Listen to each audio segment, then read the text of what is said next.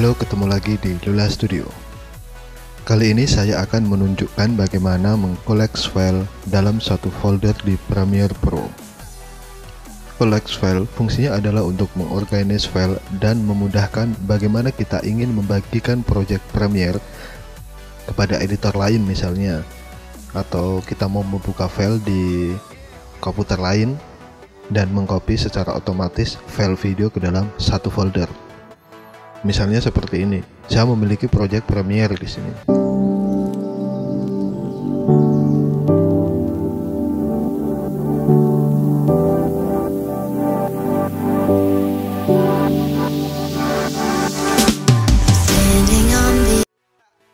Nah, kita lihat file video yang ada di sekuen ini berada di hard disk eksternal dan otomatis adalah folder yang berbeda-beda.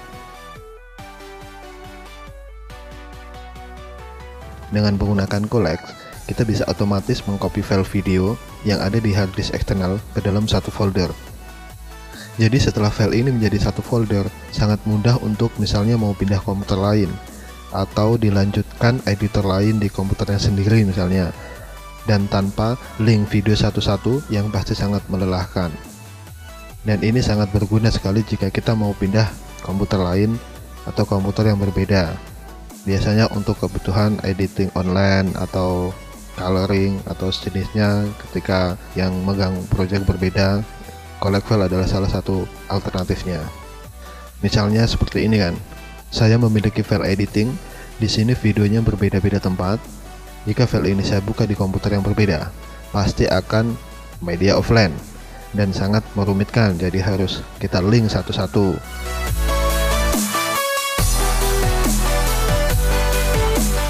Nah, untuk collect file caranya seperti ini. Kita klik file, kemudian project manager, kemudian muncul tampilan seperti ini. Di sini ada sekuen yang mau kita collect. Kemudian di sini kita pilih collect file and copy to new location dan pada jendela option kita bisa memilih di sini misalnya kita di sini kan tercentang exclude unused clip ini maksudnya file yang tidak dipakai di sekuen ini namun terdapat di project ini akan ikut ke copy. Namun kita kalau centang adalah sebaliknya berarti kita hanya mengcopy yang ada di sekuen saja. Nah yang bawah juga sama. Jadi terserah mau dicentang atau tidak. Kemudian setelah itu kita klik di sini. Di sini adalah tempat di mana kita mau menyimpan filenya misalnya saya taruh di sini dengan nama folder collect file video trip misalnya kalau sudah tinggal klik OK.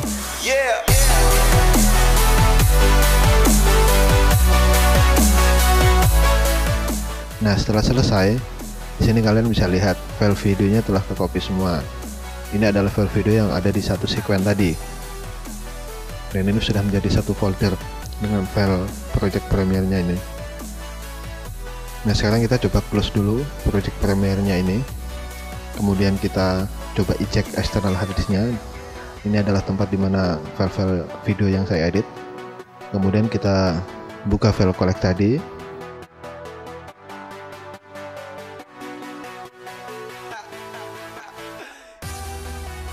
Nah, langsung kebuka tanpa offline media.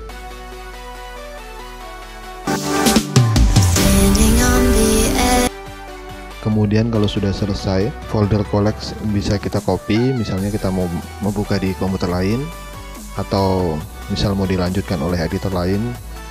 Ini kita tinggal copy satu folder, jadi nggak usah repot-repot copy master videonya semuanya. Jadi kita cuma copy file yang kita pakai saja. Sebenarnya selain di Premiere, collect juga terdapat di After Effects. Kalau di After Effects caranya seperti ini, misalnya kita punya file seperti ini, kita klik file, terus klik klik ini, dan terus klik collect file.